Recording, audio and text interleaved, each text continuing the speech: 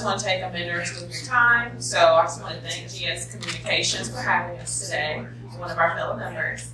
And just want to explain that E4 Carolina produces events and recognized organizations with two objectives to inform our members of opportunities to develop new skills in which we pursue opportunity and to connect members with each other with whom to collaborate and pursue new opportunities. Since 1983, Selmarq has been helping sales and marketing pros like you achieve your career goals. A small but agile team of brand stewards and seasoned designers, Selmarq has the deep experience and resources to help you address your marketing challenges.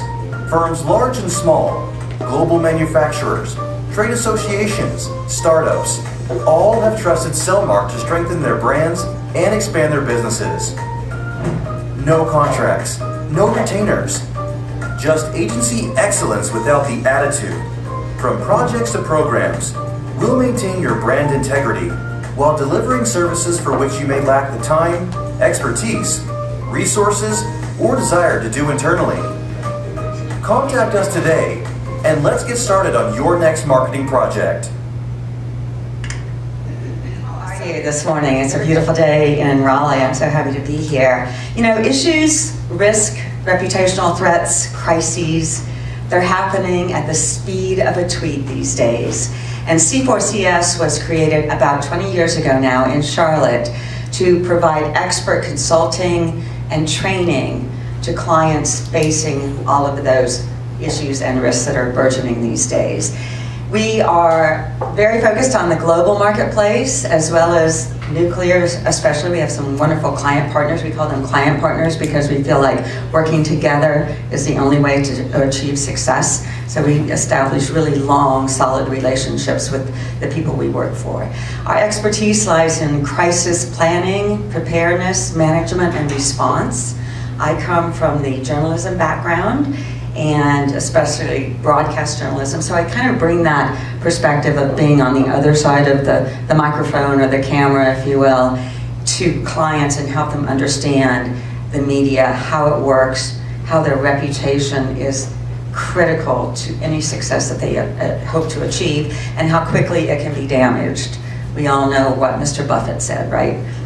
He said something about 15 minutes. It's more like five seconds with a tweet where your reputation can be damaged after building it for years and years and years.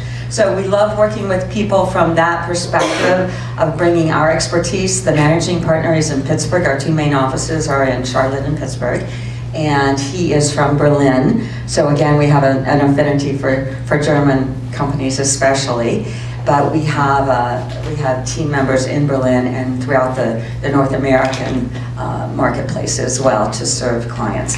But our um, our goal is just to help people understand the power of strategic communication to help them be successful. Thank you. Oh, and we've been a member of E4 for just over a year, and we're very happy. I talk about this a lot with brands when they first come to us and they say, we want to tell a story. We want to we want to let somebody know that we're making this new widget. And typically they walk into a room with a creative brief or a stack of papers or you know 15 people and they say, okay, here's everything we know about our, our product that we want to offer. And what I have to back people up on is say, okay, okay, we're making a wedding cake right now.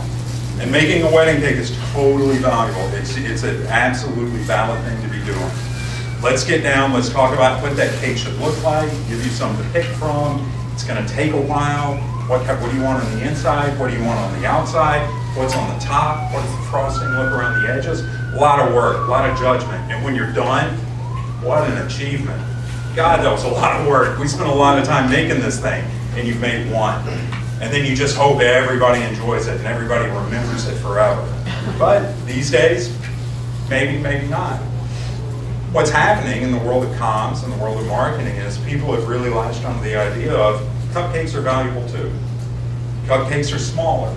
They're achievable. You can make lots of different flavors. You can do them in batches. Same thing with content. Same thing with creative. Same thing with everything we do. Everything doesn't have to be the white paper. Everything doesn't have to be an encyclopedia. You can make small pieces of content from those large pieces of content at a steady pace. Another way to put it, content creator I worked with a lot uh, over the years. Don't tell me how you can make one great thing for me, tell me how you can make 500. Content at scale. So you want to come up with a great idea, but at the same time, you want to be able to replicate it, you want to be able to put a formula around it, so everybody can get on board and everybody can contribute. And then they feel engaged and they feel like they're part of the story. And the simpler it is, the better it is on the end. Because now you're creating consistency in whatever channel you're in. People are seeing this content over and over and over, they're enjoying it, you know it's working, and at that steady pace, that's where you're going to see the good results. The one at a time, the big moments, you're hoping for the best. And in the end, getting ahead of it and promoting that one-time event, absolutely, you should be doing that. But even in that promotion, that's going to take 500 pieces of activity. So in the end, whatever story you're telling, the more you can think of it in terms of what are our cupcakes? What are the small bits we're going to make along the way that feed people that lead up to the giant wedding cake event or the giant wedding cake opportunity?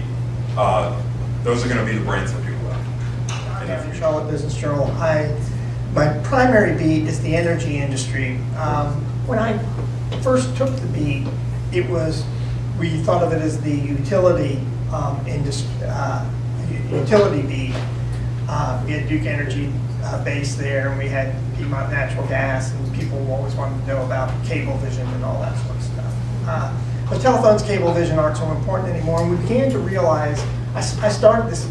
I started on this beat in 2004, and uh, we began seeing that the industry was uh, moving significantly in Charlotte and also in North Carolina. We focus on Charlotte a lot, and so we, we broadened it out uh, to try and you know look at what else is going on. We had Siemens moving in with a major uh, uh, uh, expansion. So what story, like right now, what, what stories have traction with you? Well, obviously renewables. Anything, anything to do with renewables, clean energy, which isn't always the same as renewables. And I have to remember that. And it, if you, if you guys help me remember that, that, that you know, uh, maybe we can uh, do some work together. A lot of times it can seem like your job is to, to protect people from people like me. And a lot of times it will be. And that's understandable. You got to do what you got to do. Um, you know, I'm like I'm always interested in talking to a CEO, but I can't talk to a CEO every day, and they don't have to be your only spokesman.